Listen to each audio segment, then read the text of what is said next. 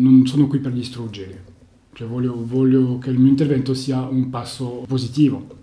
Quindi eh, non voglio togliere il, la potenziale funzionalità del cartello, non voglio neanche rovinarlo materialmente, quindi uso degli adesivi che si possono togliere. E cerco di lavorare in tema, un'ottima ricerca per un artista, cioè cercare proprio di arrivare a, a appurare, per, proprio arrivare al, al, segno più semplice possibile per dire qualcosa è, in realtà nella linea dell'artista visivo. Quindi l'omino nero, insomma, riprendendo quella stessa estetica, rim, rimango in stile e in contenuto, cioè parliamo dei divieti, quindi io mi metto a parlare dei divieti, sul divieto d'accesso, l'omino che prova a liberarsi del divieto, il poliziotto innamorato del divieto, i cartelli stradali, in particolare i divieti, sono il simbolo visivo per eccellenza dell'autorità, dell'autorità che non si discute. E eh, questo per me non è accettabile, cioè nel senso che non siamo qui per obbedire a nessuno. Uh, siamo qui per cercare di migliorare la, la, propria condizione e quella di tutti, quindi di usare le nostre capacità che sono la riflessione. C'è un problema, riflettiamo questo problema e cerchiamo la soluzione. Se invece tu mi dici c'è un problema e tu devi fare così, io non posso accettarlo.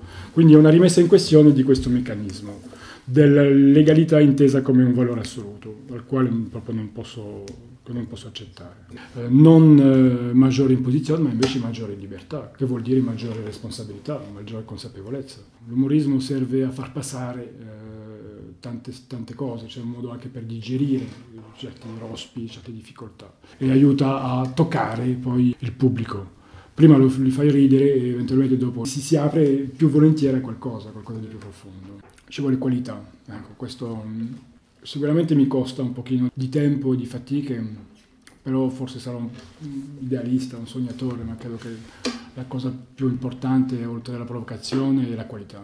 Se tu pensi ai talenti che ogni persona ha, e ogni persona ha dei talenti, sfruttare quei propri talenti per una vera partecipazione sociale è ben altro che andare a votare. Quindi poter partecipare, poter fare senza che qualcuno ti dica no, tu questo non lo puoi fare.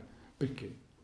Se invece quello che sto facendo eh, fa bene. L'arte è reinvenzione, rimessa in questione costante e quindi ha bisogno di, di, di, di spazi liberi, di spazi aperti. Per questo forse la, l'arte oggi in Italia, ma, ma, anche forse nel mondo, sarà, sarà secondo me quello della street art. L'unico luogo dove ognuno può buttare giù quello che, che, che c'è da buttare giù, veramente, senza filtri. Come artigiano, come artista ho disegnato tanto, mi ritrovo ad avere un mestiere in mano, però a non avere un pubblico. Cioè se tu non sei, ora mi perdonerete la parola, ma non ne trovo migliore, un leccaculo da galleristi o istituzione, tu non esisti. E siccome non lo sono per essere stato educato in un altro modo, mi rimaneva la strada. Ma se tu non entri dentro dei meccanismi preconfezionati, tu non, non arrivi da nessuna parte. Eh, mettere l'arte come un, attre, un, attrezzo di lavoro sociale, ecco, questa è una cosa molto, molto bella. Penso che il problema del potere, per usare un termine che comunque è quello del caso, è la tendenza a, um, a sedersi, cioè nel senso se io sono al potere non ho nessun motivo per cambiare le cose, anzi essendo arrivato nella posizione più confortevole non devo cambiare nulla.